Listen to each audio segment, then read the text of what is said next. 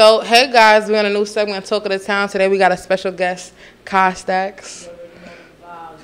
Costax in the building. For the people that don't know that's following you, where you from? From the Bronx, South Bronx. South Bronx. So, what's it like in the South Bronx, like growing up over there? It's dangerous. it's really dangerous. Don't come outside. You're not supposed to be outside. So, um, so how did you get into music? Um. Alright, so basically, my mom could sing. Mhm. me. I was raised in church, so I was forced to sing. Um, but really, really, my mom could sing, and it's like my mom could sing, my aunt make beats. She's the producer, so it was kind of. So the whole family doing music, yeah, It was right? kind of Okay. like bound to happen. It was bound to like do music, or I was going to do something dealing with music.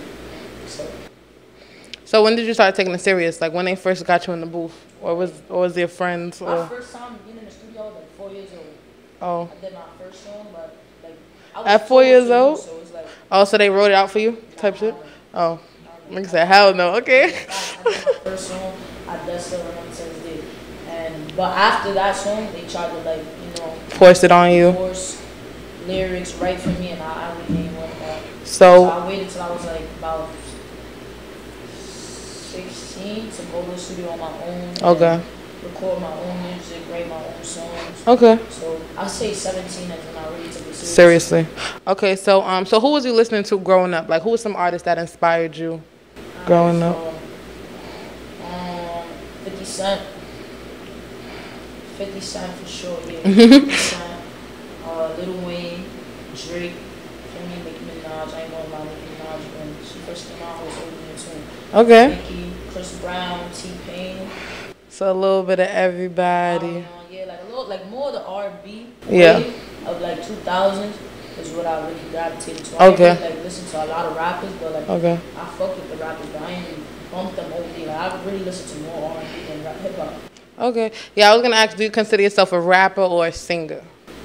I ain't gonna lie, I consider myself an artist now. I feel like I'm like a musician, so like I could do both now. For me, so I don't like try to stay in my lane. I don't want to be Okay. rapper. I don't want to be a. I just want to be a musician. I want just for me put out something and have everybody it. Okay, okay. So out of all the songs out, what's your favorite one so far? My favorite song right now Right now. "Like What You See."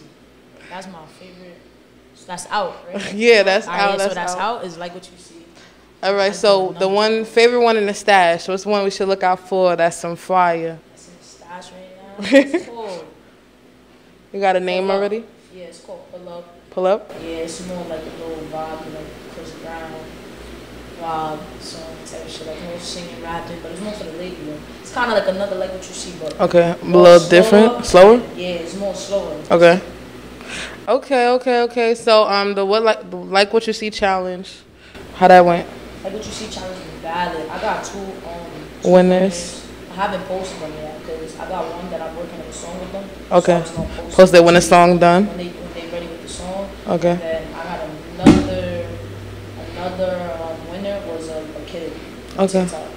All right. So what inspired that challenge? Like, what made you want to do that challenge? All right, so my first challenge that I ever did, I feel like it kind of like got my song more More streams. traction? Okay. So my first challenge was Storm. I did a song called Storm during the beginning of the pandemic, and Mhm. that song kind of like. Like during the pandemic, because everything was so quiet, that that song kind of like got me like a little bit more shaken. Okay. So I did the the open verse challenge, and I was like, let Yeah. me just do like a see open verse challenge, because I have a feature on it for me. The the Okay. Official feature. official remix. I have a feature on it, so like, Could we could we know who that feature is? see. Sure, we soon, we soon, we It soon. soon drop. Yeah, soon. Um, Okay, soon drop. It's okay. My EP. The original and the feature is a is a Bonus. Yeah, got it. But, um, so I want to do the challenge and just to get to like see people create creative side. I want to do it not, not just verse, but like music, dancing, different Mhm. things. I want to see people like creative side. So I was like, okay, let's just do it. All right. And then as you see artists create style, what makes you like reach out to artists like after like? I reach out to artists all the time, even before the challenge. Cause like if I see like my cousin, they bump a lot of different rappers. Mhm. So I'll be listening and they'll bump it so cause it's like all the time that sometimes I, I know a lot of unknown rappers' music, like a lot of up and coming rappers' music, and I, I probably don't even know who they are. Right. So when I do find out who they You are, be tapped in? Yeah, I, I, I'll hit them up like, yo, keep doing your thing, your work. That's what's up. That's what's up. Um, so have artists done that to you? Like any artist reach out to you, be like, "Yo, keep working." A lot of artists. So who's who's the artist that reached out that like shocked you, Um, or you were surprised that they even in tune? Any yet? I mean, I seen like J Balvin. J, nah, J Balvin. J Really? Balvin. Nah, yeah. I, I'd say, I'd say J Balvin. Okay, But I met him in person, so it's different. it was different. It wasn't a DM. It was like a DM, in person vibe. He was, he told, like, he told me, like, yo, tell your engineer to leave the song in the studio so he could tap in. So that's how, that's how. Okay, so he's definitely gonna tap in. Gonna be looking for that soon. so, um, so tell us, um, any other collabs you have on the way that you can tell us about? Uh, collabs. I got a song with Freddie Luciano. Okay, Yeah, that's big bro. okay. Heavy big bro. And I got a song with him called um, FaceTime. But we, we gotta do another song. Okay. called Man Down. Okay. And then, yeah, hopefully I get rowdy on it. If not, and Freddie gonna go regardless. So, it's just gonna be Okay. I want to say, like, do you have something with Lil Tjay? I know you and Lil Tjay was close. Nah, yeah, we still that's gang. Me and Lil Tjay, we we had like back and forth music like sent to each other type shit. Okay. Like, hop on this. Hop on that. But Okay. then we never really like locked locked in Locked in, locked in. hundred percent. Like when we lock in, we gonna lock in for me more or less. Like it was more like yo, bro, it's an open verse, like that vibe. But we gonna lock in for sure. I, I wanna make sure when we lock in, we lock in in the studio. The vibes is everything. The vibes, calm. Like everybody want that TJ feature ready. I know, yeah, people was going crazy for that. And he going up. He just did some shit with J. Cole. But um yeah, that shit yeah, that shit's going up. Um, what was I gonna say? So Dream collab. Is there any artist that's on your bucket list that you wanna collab with? Um, as of right now, I'm gonna work with Tory Lanez. Even still, fuck all that shit. Tory Lanez. I'm gonna work with Tory. Okay, okay. Tory, Tory, Tory Lanez sound is different. I don't feel like a lot of I don't I don't see a lot of Tory Lanez features. Nah. already. So I feel like Tory Lanez is one person I want to work with. He he do reach out to people though. I heard Tory Lanez be reaching out to folks. Um, definitely. Wow. You need to reach out over here. I need that feature. All right, okay, okay. But you call yourself the princess of New York. Let's get into that. Why why you feel like you that? Alright, so, alright, so yeah, so basically I call myself the princess of New York, and that's cause like, alright, so you know everybody doing the king of New York, princess of New mm-hmm. York. Uh, so I feel like, far as my generation, me coming up, like not no Nicki Cardi situation, but in my age bracket and my image, there's no mm-hmm. Female stud. I don't be disrespectful, so no female stud. Okay.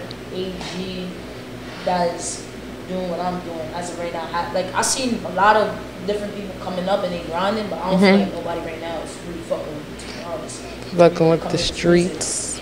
As well with female artists too, but I see a lot of female artists they in a different bracket. For me, a lot of female artists more like the city girl bracket. I'm like Yeah. a whole different. Yeah, like I'm in my own melodic. lane, Yeah. And I don't feel like nobody stepped in my lane yet. For me, at. Okay. All right. So um yeah, so you're gonna drop a project called that.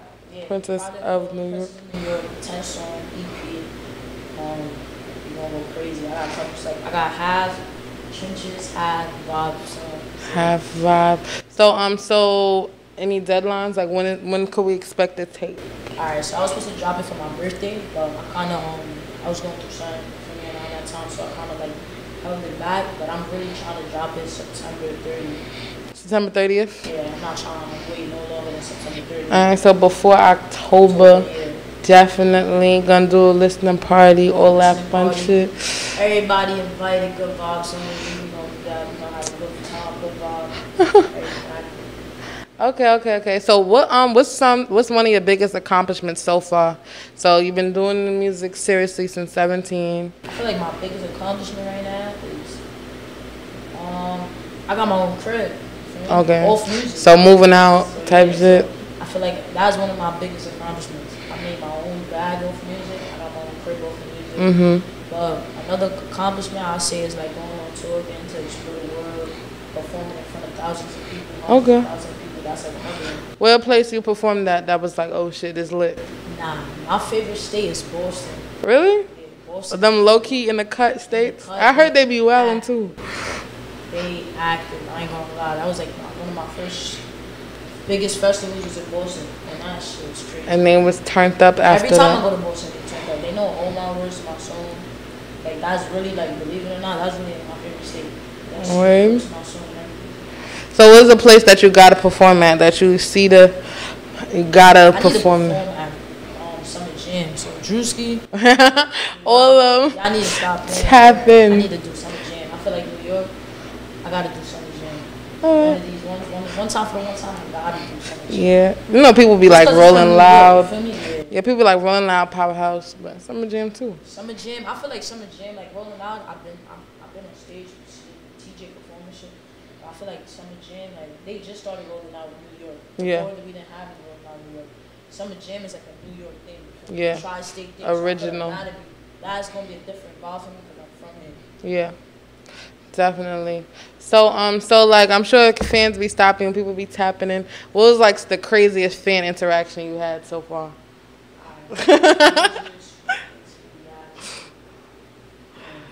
Or has it been any? Or they kind of calm? Nah, some.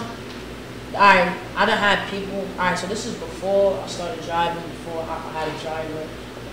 I didn't even think I had that much clout. I was coming off the bus, Uh huh. and somebody was on the bus recording me. Oh. I got off the bus, and they text me like, "Yo, you call sex to see me on the bus."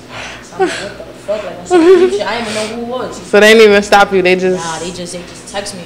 But then I feel like the craziest reaction I had was like in the mall. He had to be out the mall. I seen a couple people. The dude, remember, um, what was it? The dude, he was like, yo, he tried to like be funny. I was with some girl I knew, and like he knew me, Uh huh. and he knew the girl, so he tried to like low key like next to me because of the girl, and like Mhm. he tried some funny shit. She almost got left, so he had to get me out of there. Now we out. So, but that was on some Damn. Yo, yo, you would call yo, that's your girl, bro. Like trying to press me, but like on some excited pressing me shit. Yeah. Shit. Trying to be funny. Do you feel like that happens a lot in New York? People trying to get clout so bad, Uh, just doing cloudy stuff. yeah. Everybody want clout. I feel like that's the main goal to everybody. Everybody gonna be about the money, man. Be about the clout. So, what advice would you give an upcoming artist that's trending right now? Like, how could you be on point with that? I guess. I mean, when it come to like entertainment, I'm not gonna lie, I don't be having time to entertain people. But when I do have time, they be mad. I flame. they be excited. But like, I feel like it depends on your energy. If it's gonna bring you down, then don't entertain it. Feel me? Like, I feel like a lot of things that people try to do, like, I mean, people that try to like start fake beef, Mhm. I don't even entertain that shit. I money. I like, Okay, so staying you down, focused. Feel me? Don't even entertain that. Feel me? Get money. But if you know it ain't gonna bother you, talk your shit. hold, it, hold it down. Feel me? Talk your shit. That's what I'll do. Staying focused, staying focused. I was gonna say, like, is it like hard being like a AG and, and doing music? Do you feel like you get like mixed fans? Do you feel like people don't take you serious? Like, how you feel? Alright, so. Alright, so basically, uh, I feel like some people are confused. Some of my fans don't know I'm a girl. Okay. A lot of them. Like, he, he be having people come up to him, like, yo, Cod. I don't even realize I'm a girl. So he be telling me, like, yo, we need to do some controversial shit, bro, so people know you're a girl. Like, yo, yo. Putting a wig on, some crazy You shit. you you not with it? Maybe for a video, though, like on some, on some, me, on some funny Uh, shit, though. so um. But I feel like I got like my fans fuck with me. My fans is loyal. Okay. I, I feel like. they Does that bother you that your fans don't know you a girl or boy, or you don't care? Nah, I really don't care. Okay. I mean, like when they ask, I just tell them like it only bother me. Like it don't bother me. It don't bother me. The only time it bother me is like when a person try to be funny and they know what it is. Like, you feel me? Mm. like I feel like I don't have people try to troll me. Like oh look, Nishi or some shit. I be like, oh you bored? you really that bored? Like you trying to be funny? Okay. like that. But other than that, it don't bother me. Like my fans call me and he, I don't get mad. I be like, feel me? Or they'll be like, oh my god, I'm sorry. I be like, yo, it's cool. I Okay. don't get upset. Yeah. So just just going with the flow. Yeah. Just sure. if you support, you support type shit. So what advice would you give someone that's like following you and wants to be an upcoming artist and is probably like in the same, you know, shoes as you. Like, what did you have? To, what shell did you have to break? I guess being an AG and doing music, and you know. You gotta not give two fucks. To be honest, for me, like what's, what's meant for you will be for you. So it's like if you know you got a talent, a gift, or you know you wanna you wanna do something, you just gotta do it. And it's like eventually, all the haters will become a fan. You feel me? So I tell like I tell everybody, like all my friends, everybody, like you're gonna overcome obstacles that you thought probably like two years ago you would never overcome. Mm-hmm. So it's like I don't be giving two fucks about how people opinions. I do like I do me. So it come to music, I do me. I tell all my like my cousin, I'm like, bro, you gonna you gonna make it, my boy. You just gotta focus, stay focused, grind. Stay focused. Figure out what you want to do for me, because at the end of the day, it's a plan. You gotta plan with yourself. Mm-hmm. You can't worry about everybody else. Nobody else gonna sit there and be with you 24 9 when you for me. Yeah. You thinking about how to make it like how to make a million dollars. Like nobody gonna be there when you really to yourself. So you gotta have that plan and set that goal for yourself and just do it and go from there and run with it. Type Because shit. Eventually, the, for me, the good always beats the odds. Yeah. So just staying focused, pretty much. So um, so what should your fans look forward to? This EP that's coming out and it's new. I'm about to drop a new single Friday. New Just single. for the guys. I feel like I haven't dropped. Say the date, cause I I'm trying to try to have this out Friday though. Friday, Friday is the. Let me what is Friday? The 10th. Friday the 13th. Okay, the 13th. 13th Wow, Friday the 13th. That's my Yeah, funny. Friday the 13th, I'm dropping a song called For Real. Okay. We gonna go up. It's just a, it's a song for the guys. For me, it's for the trenches. Okay.